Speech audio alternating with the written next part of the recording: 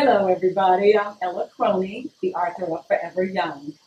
I'm here today with my friend Glen, the owner of Pristine Wellness.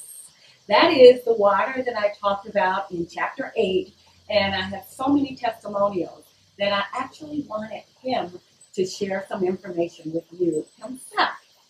So, Glen, for my readers, can you tell me and let them know why proper hydration is so important? Well, the human body is 70% water, and as a result of burning fossil fuel, there's excessive acids in the water. Okay. So let's just examine acid rain in a nutshell real quick here. Okay. If acid rain causes a cascade of effects, it harms or kills individual fish, reduces fish population numbers, can completely eliminate a fish species from the body of water. It decreases biodiversity, kills crops, trees, other vegetation, eats into copper, lead, and galvanized eats up building, automobile, monument, statue, overpass, underpass, sidewalk, brick wall. Wow. I would say that's a little harsh. Yes, on the body. So the first thing we need to understand is we need to drink acid-free water, Yes. properly mineralized Yes. and contaminant-free. Okay. So what are our options for water? Our options for water is first we add a carbon block filter, but it doesn't pull the acids out, the pharmaceutical, the hardness in water. Right. Then technology evolved and it went to a reverse osmosis. Well, reverse osmosis cleaned the water out, but the problem was that acids are liquid, and the fluoride that they put in the water was hydrofluorosilicic acid. So we have a lot of acids in the In water. our water, right? And on our body. Right. So what happens is these acids are liquids and they go right through reverse osmosis membrane. And reverse osmosis water for you is worse than tap water Okay. because it was all the alkalinity take. Even though there was a lot of pollution, at least there was some alkalinity to buffer the acid. Okay.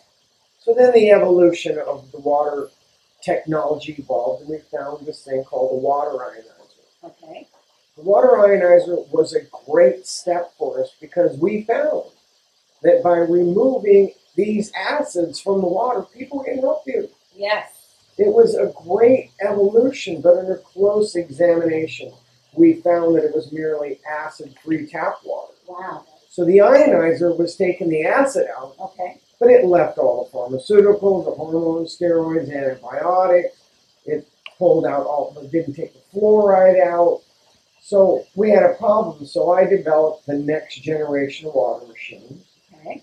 called Pristine Hydro. Yes. And Pristine Hydro is not only clean water, and it's not only acid free, but the water is properly mineralized with calcium, magnesium, potassium, sodium, and chloride bicarbonate electrolyte salts. Okay. But it's super high in magnesium due to the prevalence of a magne- deep magnesium deficiency. Okay.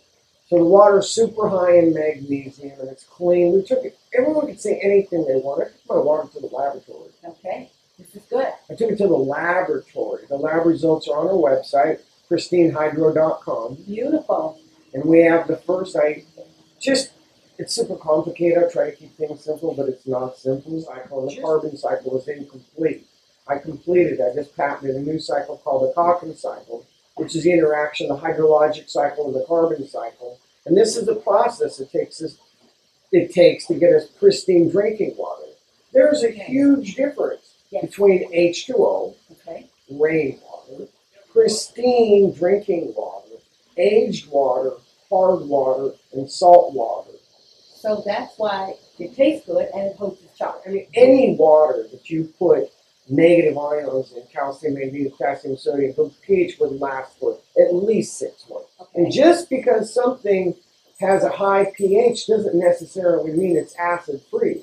Okay. Acids and bases can, in sufficient quantities, can offset each other. If Okay. you go into tap water, you look at pH 7.8.